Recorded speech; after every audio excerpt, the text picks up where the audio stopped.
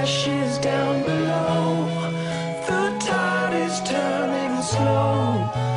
Time to move along to catch the Memphis sun.